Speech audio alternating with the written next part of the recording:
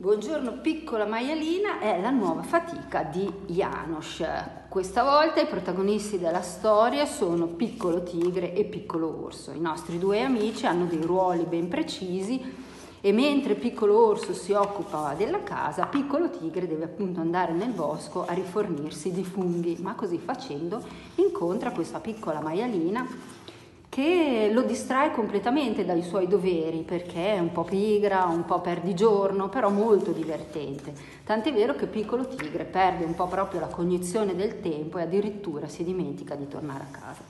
Piccolo Orso naturalmente si preoccupa, parte alla ricerca del suo amico, lo trova e alla fine tutti ritorneranno nei propri ruoli condividendo amicizia e doveri.